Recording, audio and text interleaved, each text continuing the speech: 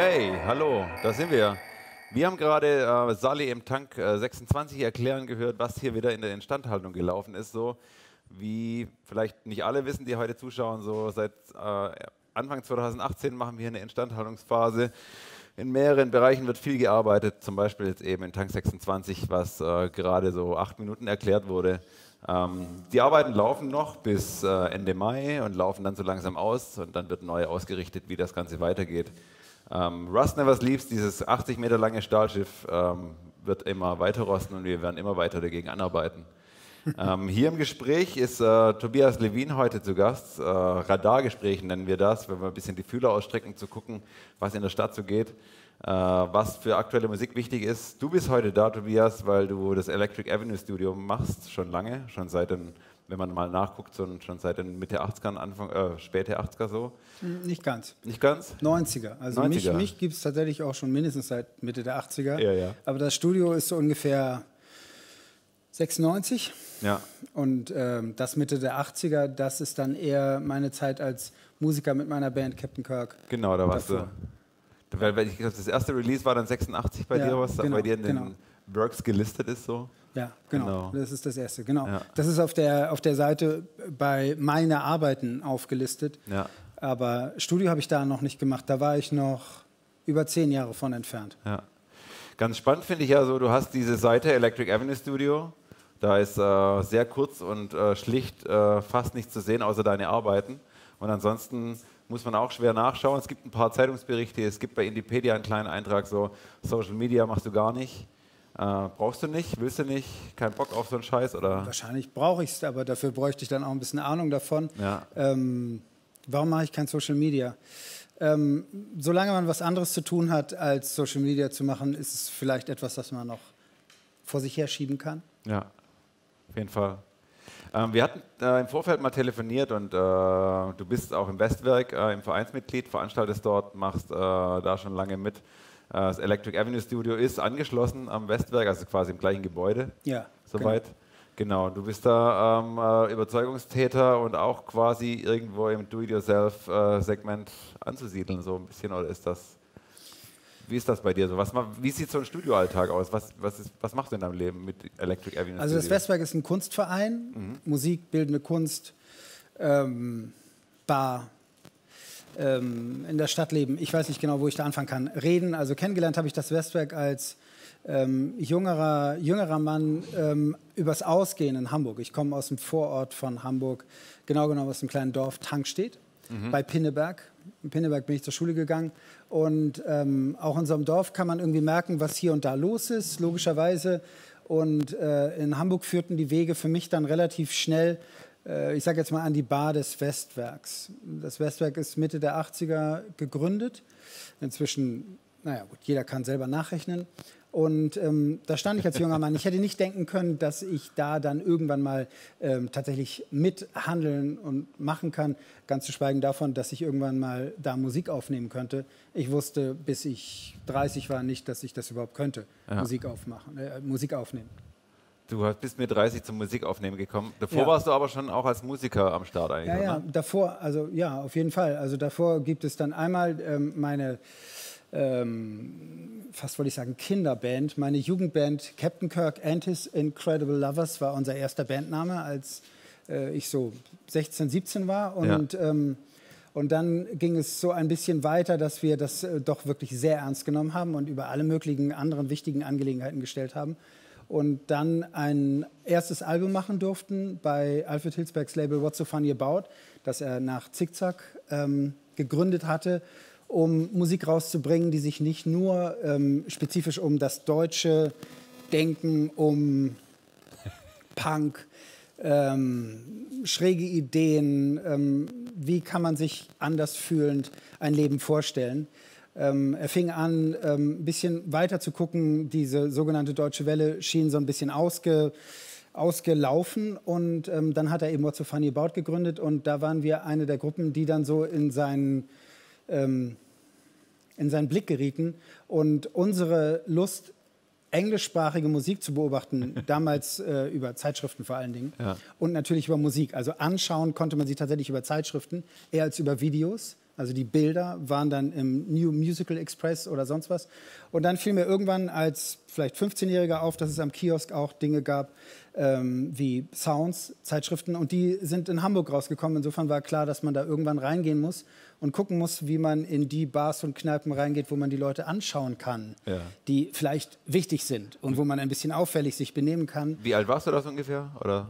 17. Ja. 17, 18. Genau, und dann haben wir die Band gegründet und äh, sind dann ähm, mit einer Kassette irgendwann nach Hamburg gegangen, sind als erstes zu Michelle Records gegangen, wo damals der Bassist von den Geisterfahrern äh, am Tresen saß, Erdem Güngorecek, ein äh, toller Mensch. Und dem zeigten wir die Kassette und der sagte, keine Ahnung, musst du zu Ruff gehen.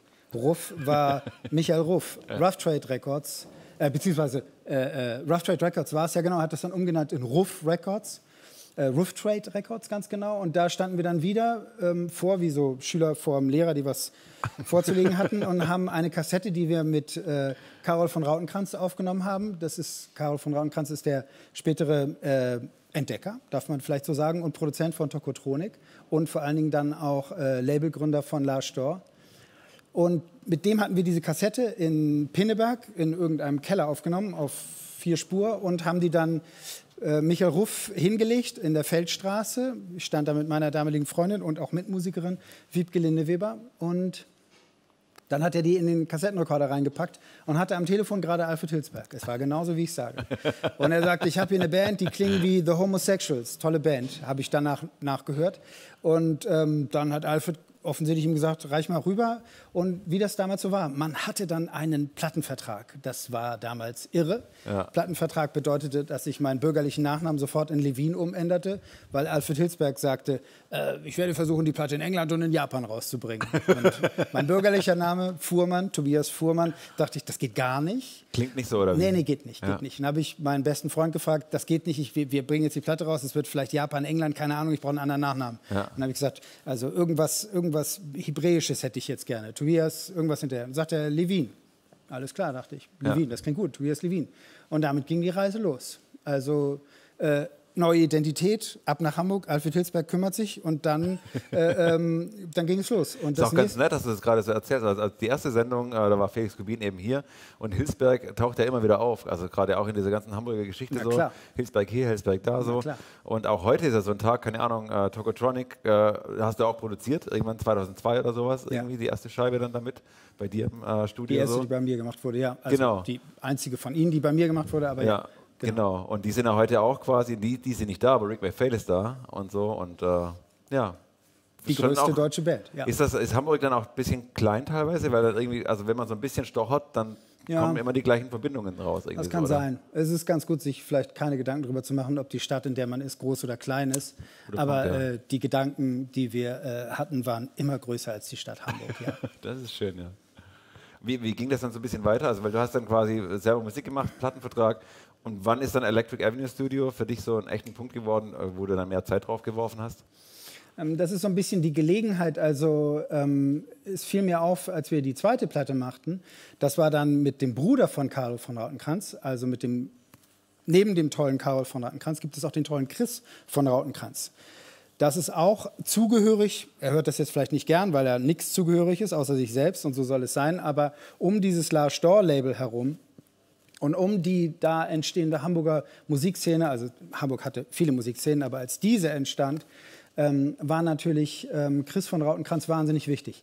Und nun kommt hinzu, dass beide, Chris von Rautenkranz und Karl von Rautenkranz, zur selben Schule gegangen sind wie ich, und zwar in Pinneberg, also auch vor den Toren ja. von Hamburg, im ja. wunderschönen Pinneberg. Ja. Und ähm, die hatten selber auch eine Band, die hießen erst Mother's Pride, dann Die Guns. Ich würde das mal im weitesten Sinne als scharfen Elektropop bezeichnen. Und ähm, wir waren mehr so auf John Peel, Jesus Mary Chain, Gang of Four war ganz wichtig. Ja. Und natürlich der ganze andere Dorfrock-Kram, den man sich so vorstellen kann. Eigentlich komme ich vom Boogie-Rock, eigentlich habe ich Status Quo gehört, eigentlich hat ACDC doch die besten Riffs aller Zeiten gemacht und so weiter. Aber auch immer dasselbe, oder? Ich bitte darum. Ja. ja das wäre ja schlimm, wenn sie das geändert hätten. Ja. Ähm, oder besser gesagt, wenn sie schlecht geändert haben. Also das Gleiche gespielt haben, aber nicht so gut. Ja. Also da gibt es feine Unterscheidungen.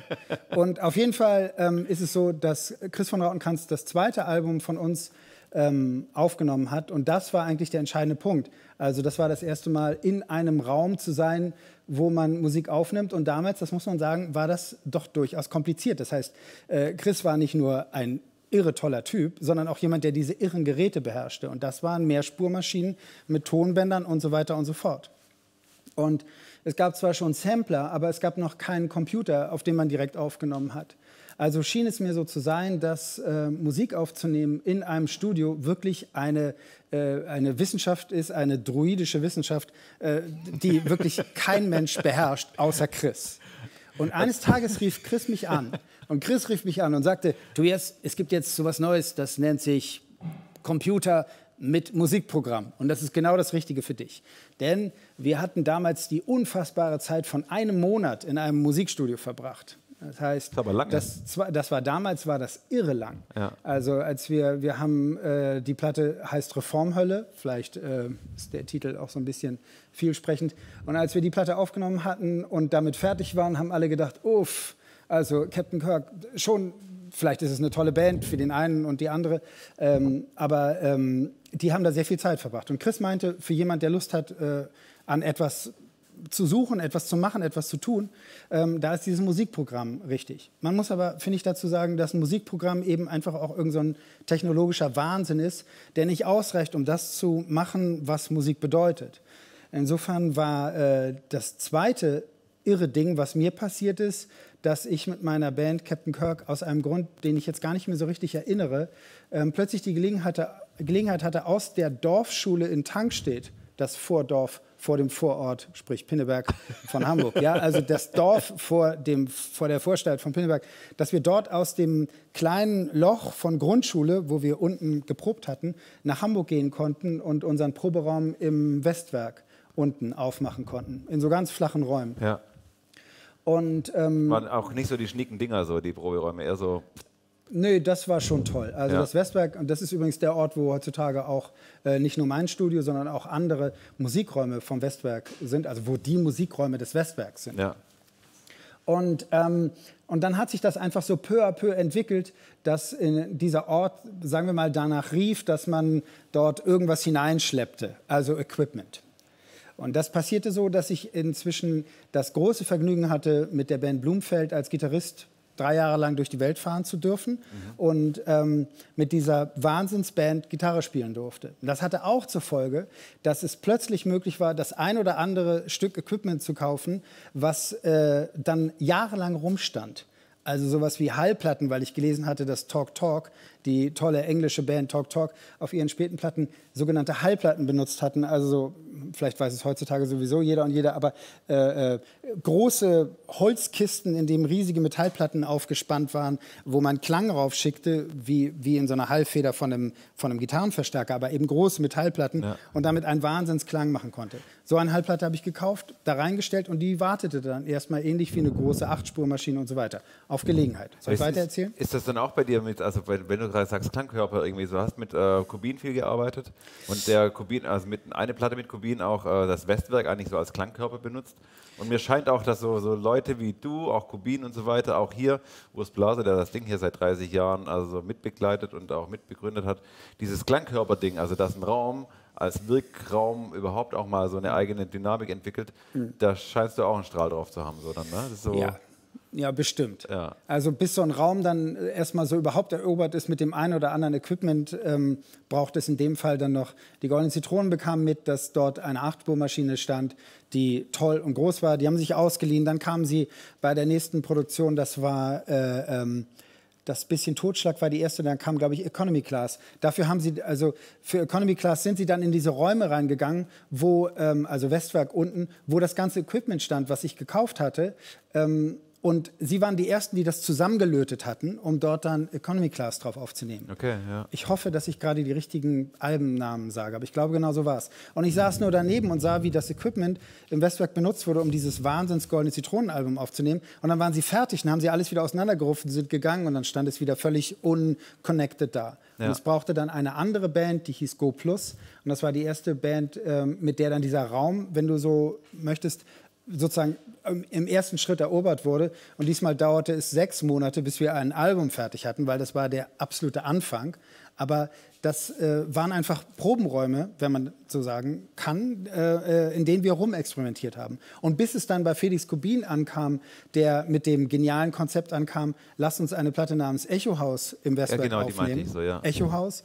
Und lass uns ähm, ihn und andere tolle Musiker und Musikerinnen, deren Namen ich jetzt nicht auswendig äh, äh aufsagen kann. Es waren wirklich irre Musiker, klassisch ausgebildete Musiker, äh, Musikerinnen, ähm, wundervolle, weirde Drummer und äh, präparierte Pianisten und äh, Pianistinnen, äh, ganz, ganz toll. Und da fingen wir an, die ganzen Räume im Westwerk ähm, zu mikrofonieren und über, ich weiß nicht, eine gute Woche, sage ich jetzt mal, ähm, dort in allen Räumen alles Mögliche aufzunehmen und unten sozusagen zusammenzufassen und im Prinzip die ganzen Resonanzen kleine Ecken. Das Westwerk hat einen Ausstellungsraum, der unglaublich hallig ist. Mhm. Und äh, das alles zusammenzufassen und eben diese tolle Platte zu machen, die dann auch ähm, wirklich wahnsinnig schön ist und auch aufgeführt wurde in den äh, äh März Festspielen, März Festival, äh, dieses neue Musikfestival, was in Berlin läuft, wurde das Ganze in andere Räume, in die Sophienseele in, nach Berlin transportiert. Also da wurde quasi ein Raum, den man erobert hatte, in einen anderen getragen. Und ähm, genau, und den, den, Anfang hatte das im Westwerk genommen. Ja. Wie ist das denn äh, im Westwerk? Also so, wenn du das so erzählst, äh, das ist ein Raum, der sich befüllt hat. Äh, soweit ich weiß, Westwerk ist auch, äh, ähm, steht auf eigenen Beinen, hat jetzt keine Förderung, also so jetzt vor Corona selbstständig gearbeitet, irgendwie so, du machst das auch mit deinem Studio oder seid ihr auch irgendwo angeschlossen und kriegt irgendwo so ein bisschen Stiftungsgeld her und könnt damit arbeiten?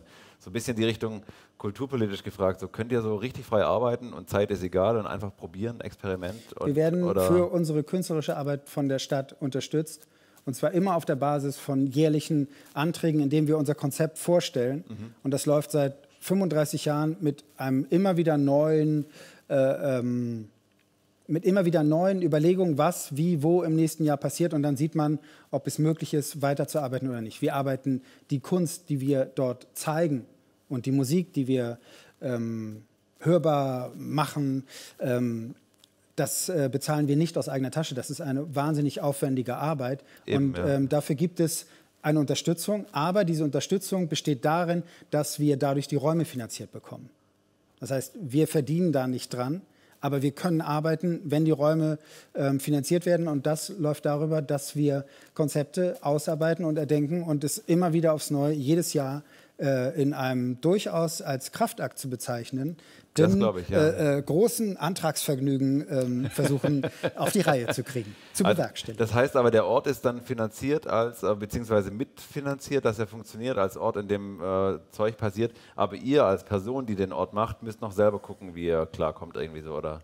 Ja, jeder Mensch sollte ja. auch durchaus in der Lage sein, ja, selber aber es ist, also das Westwerk ist jetzt nicht der Arbeitgeber, wo ihr alle dranhängt und dann gibt es eine Lohntüte und das nein, geht so. Nein, nein, nee. nein, nein, nein, Wir leben nicht von Einnahmen, ähm, die wir bei Konzerten zum Beispiel machen. Ja. Die Konzerte, die wir machen, ähm, versuchen sich äh, selbst zu finanzieren. Das gelingt mal, mal und mal mehr nicht. und mal ja. weniger. Genau. Das ist auch unsere Erfahrung. Also wir sind ja auch, äh, wir machen viel Live-Musik äh, auf der Bühne direkt, aber eben auch Clubbing verschiedenes davon oder auch Firmen-Events teilweise, weil man im Endeffekt muss man gucken, wo kommt die Kohle rein, die man dann verwenden kann, um wieder querfinanziert Programm zu machen. So, das ist auch genau das Modell, das durch Corona jetzt äh, extrem fraglich geworden ist. Viele Leute mhm. einen Raum rumdrängen, irgendwie guter Bauumsatz ist erstmal vorbei. Deswegen auch ein bisschen so die Frage. Und ein Trigger, den ich noch hatte, als wir uns äh, vorher mal unterhalten hatten, meinst du, wenn man dich ärgern will, kann man dich fragen, wie lange dauert es eigentlich, ein Album aufzunehmen? Ja. Also ist das, ich meine, kann man... Also, äh, okay, die, die, den Satz hatte ich dir in dem Gespräch noch nicht gesagt. Ich äh, bin grundsätzlich bereit, bei jeder Länge von Produktion mitzumachen. Also ja. will sagen, ähm, ich bin äh, begeistert davon, wenn Menschen, was ich gemacht habe, und zwar äh, oft genug, äh, wenn Menschen in der Lage sind, es innerhalb von äh, einer halben Stunde oder sogar mehr einzutrümmern und dabei etwas ganz Tolles machen. Aber ich bin auch durchaus in der Lage, mit jemandem zu arbeiten, der dort die äh, fünf Jahre an der Musik arbeitet. Das muss vielleicht äh, seit einiger Zeit nicht immer vor Ort stattfinden. Aber ähm, man arbeitet genau wie Mann und Frau. Menschen arbeiten an, äh, an Konzepten, die nicht direkt an den Ort gebunden sind. Es gibt halt einfach die, die alte Vorstellung von einem Studio und ähm, diese Studios sind auch wahnsinnig wichtig gewesen und eigentlich sind sie auch immer noch wichtig, mhm. aber sie haben es halt schwer, diese Orte, an denen wirklich äh, ähm, vor Ort aufgenommen wird. Ja. Und ähm, wenn man das tut, was äh, Produktion genannt wird, kann man natürlich auch sagen, ähm, ich begleite teilweise äh, äh, Menschen, genauso wie sie mich, dann auch umgekehrt, das gibt es auch logischerweise, den umgekehrten Gedanken, an ihren ähm, künstlerischen Ideen über viel längere Zeiten hinweg ja. als das, was irgendwie an einem Wochenende dann aufgenommen wird. Ich glaube, es war Robert Smith, der mal gesagt hat, äh, ähm, also der The Cure-Sänger, ähm, dass ins Studio gehen eine Formalität ist. Andererseits ist ins Studio gehen nicht nur eine Formalität, wenn man dann wiederum an Leute wie die Beach Boys oder sonst was denkt oder an die Beatles ja. oder an die Rolling Stones in irgendeiner tollen Phase, wo sie sich wirklich Zeit genommen haben. Ich glaube, Godard hat da mal ein bisschen genauer hingeguckt. Das heißt, es kann auch genau das sein, was alle befürchten, nämlich ein einziger Gammelort, an dem eigentlich nichts passiert und alle nur ganz brutal abhängen und man denkt, so stellt ihr euch äh, euer Leben also vor. Und man ja. muss dann so sagen, ja, haben wir uns so vorgestellt. Und vielleicht haben wir übermorgen auch eine gute Idee, wie das weitergeht. Ja. Das äh, bringt aber auch den Punkt so rein, so ähm, äh, der Studiobetreiber, der du jetzt zum Beispiel bist, du bist Produzent, machst Aufnahmen und so weiter.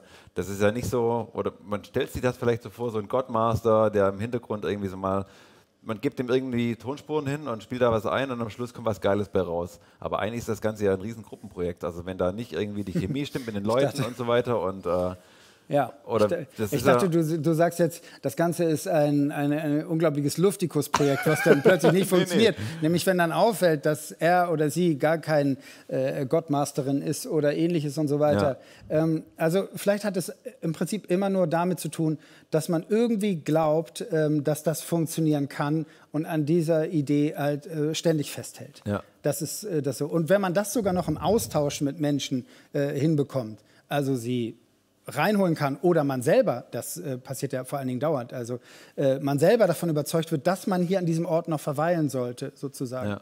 ähm, dann ist das so. Und da möchte ich sagen, dass das Electric Avenue Tonstudio, also der Name meines äh, Raumes dort, ähm, sich nicht unterscheidet von einem Proberaum, in dem Leute sitzen und glauben, dass sie äh, noch weiter ähm, es versuchen sollten. Und ja. je nachdem, ähm, ob das den Beteiligten in ihrem Leben möglich ist, daran festzuhalten, ähm, wird das auch gemacht. Und oftmals denke ich so für mich, ähm, ich will an dieser Stelle nicht verschweigen, dass ich in einer Beziehung bin, dass ich also, ich habe sogar Kinder und ich habe sogar eine Frau und, ähm, und die reden da, wenn man so möchte, mit. Ja. Das heißt, bei den anderen Musikern und Musikerinnen ist es natürlich genauso. Alles Mögliche redet mit.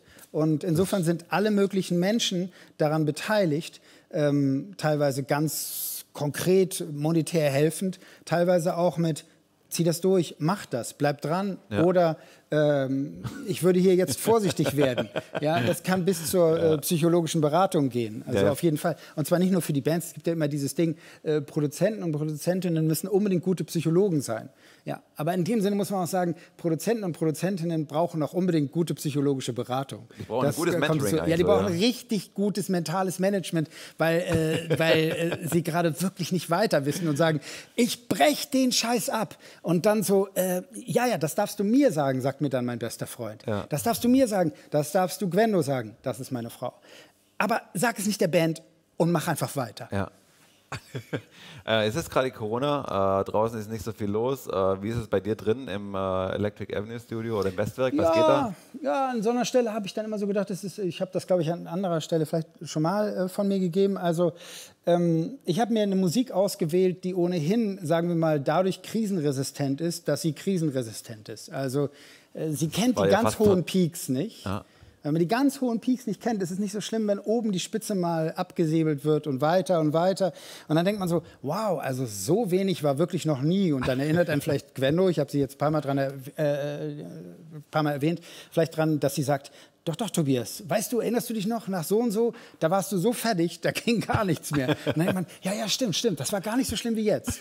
Und dann ist es dann sozusagen wieder. Und außerdem, du könntest doch das und das machen. Und dann ist man schon wieder unterwegs. Eigentlich geht es immer nur darum, ähm, ob man rausbekommen kann, ähm, ob es wieder irgendeinen Anlass gibt, äh, unterwegs zu sein. Ja. Und manchmal ist nicht mal das Studio dafür entscheidend, dass man das Studio weitermacht.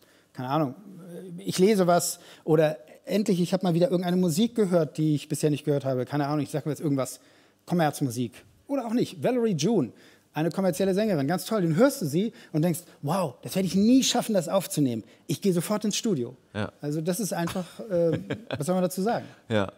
Ähm, so zur Richtung Abschluss gesehen, so ähm, wir haben aus dem Archiv ein Stück von Halma rausgezogen. So, du hast Halma produziert 2018.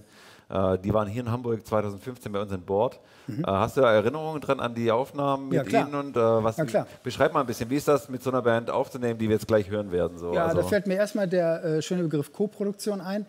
Also das heißt, wir haben zusammen den Gedanken gehabt und äh, vor allen Dingen ist zu aller vor, vorderst zu nennen der Name Tom Fleischhauer.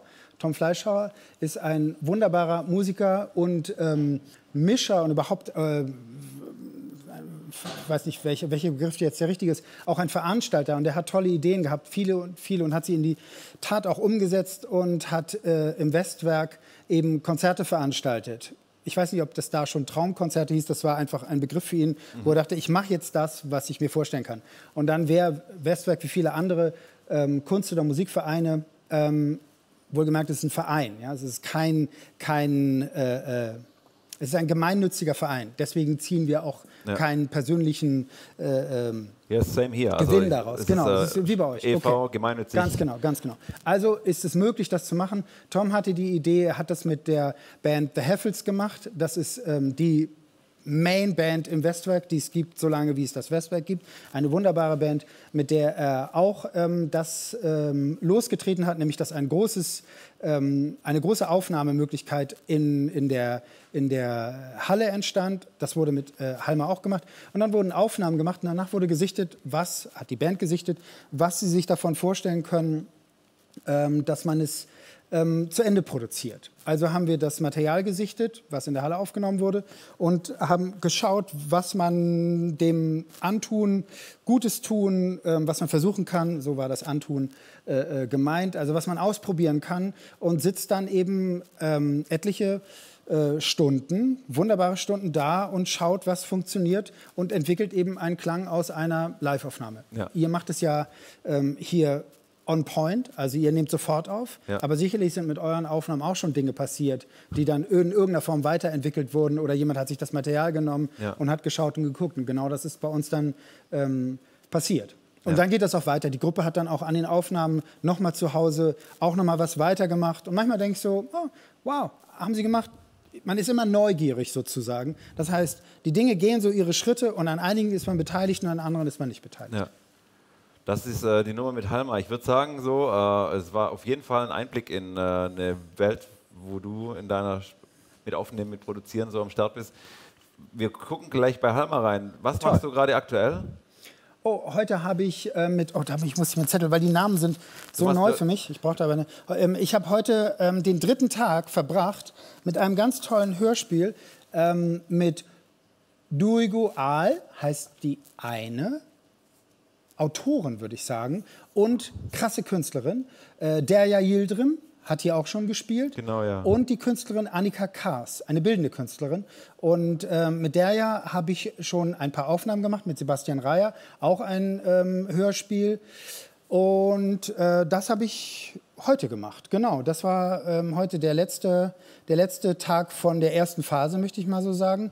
Und dann steht hier noch aus irgendeinem Grund drunter, weil ich dachte, vielleicht sprichst du mich drauf an. Im Oktober nehme ich mit Sven Kaczirek und Fumir Gao eine das ist ein bisschen allgemein, eine kenianische äh, Musikerin, eine kenianische Sängerin, eine ganz tolle Platte auf. Das bin ich an der Stelle jetzt einfach so völlig kontextlos mal losgeworden. Das kannst du kontextlos auch, loswerden, ne? weil also ja. Sven Kaczerek war hier im Dezember, äh, da hat er mit Oli Tratego, ähm, äh, Ot Okodo heißt das Projekt, ja, Wahnsinn. hier gespielt. Ähm, Wahnsinnig gut. Und äh, er ist ja auch genau. ähm, mit äh, Wangari Grace, auch aus äh, Kenia, am Kampnagel einig gewesen, wurde wegen Corona, glaube ich, gecancelt oder wieder mal verschoben und so weiter. Ja. Ja das ist mir eh aufgefallen. Im ganzen Katalog von dir, was man da so guckt, irgendwie so gibt es auf jeden Fall einen Haufen Momente, die wir auch hier so an Bord schon hatten, so, ja. wo dann äh, ich denke ich auch, weil es hier eine Produktionsstätte ist, in der äh, Dinge auch mal äh, experimentell probiert werden können, so ähnlich oder vielleicht bei dir noch mehr, weil es eben wirklich direkt auf so Aufnahmen geht. Nee, so. genau so. Genau, ja. Ganz genau, genau so.